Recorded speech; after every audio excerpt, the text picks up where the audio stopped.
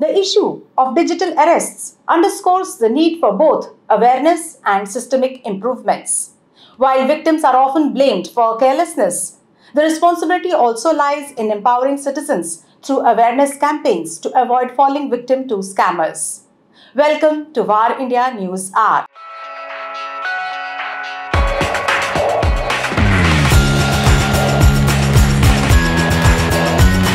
Digital fraud requires systemic reforms from both telecommunication companies and banks. While telcos like Airtel have systems to identify spam calls, they lack similar mechanisms to prevent fraud, raising concerns about the SIM card issuance process and the absence of a system to flag suspicious numbers.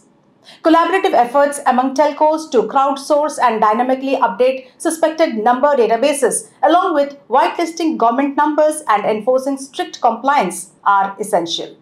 Additionally, addressing investigative loopholes is crucial for resolving the problem.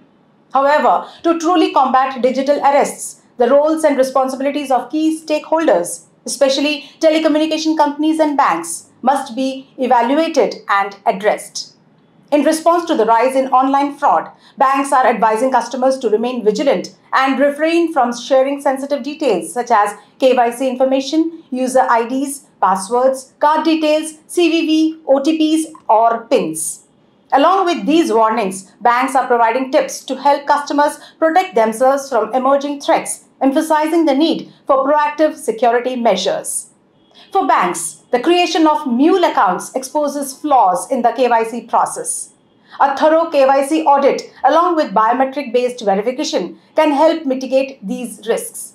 Banks must be held accountable as fraudulent activities often exploit weaknesses in their systems. Strengthening oversight and accountability in both sectors is critical for effectively combating digital fraud. Going forward, integrating business logic into core banking systems can reduce money transfer to mule accounts by flagging suspicious beneficiary additions. AI can help identify patterns and connections, providing early detection of fraud and enabling proactive action.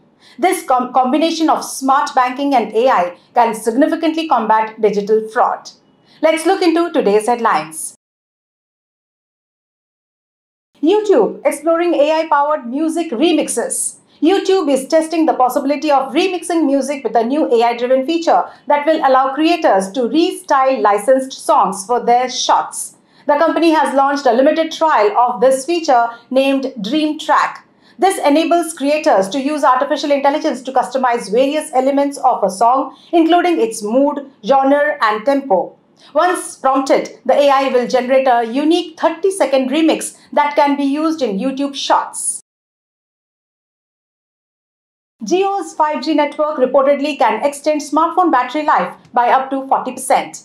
Reliance Jio Infocom has claimed that its 5G network can reduce power consumption, resulting in extended smartphone battery life by 40% due to the advantages of its standalone 5G network. According to the details provided, because of spectrum bandwidth assignments as per application requirements, Jio 5G network users can expect smartphone battery life improvement by 20 to 40%.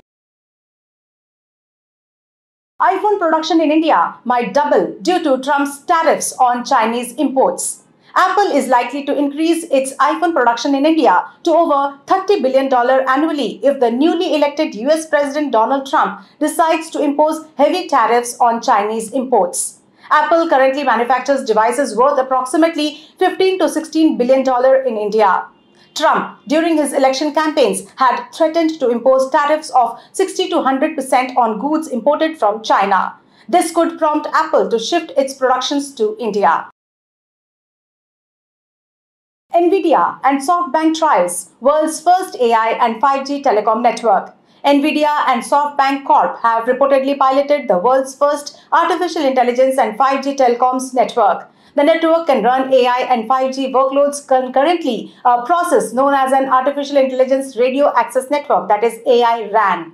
Applications for the network include autonomous vehicle remote support and robotics control. SoftBank is said to have been the first to receive its new Blackwell chip designs, which it is incorporating into the AI supercomputer it is developing. CDOT signs strategic partnerships to advance indigenous telecom. The Center for Development of Telematics, that is CDOT, has signed key strategic collaborations with key institutions to strengthen India's telecom infrastructure and self-reliance in advanced technology. Aimed at bolstering India's self-reliance in telecommunication technology, these agreements are aligned with the national vision of Atmanirbhar Bharat. This project under the TTDF scheme will leverage commercial foundry services and standard design kits, making the IP cores industry ready. That's all for now. Please like, share, comment and subscribe to VAR India magazine. You can download the VAR India app from Google Play Store and Apple App Store for more news and updates. Stay tuned. Thank you.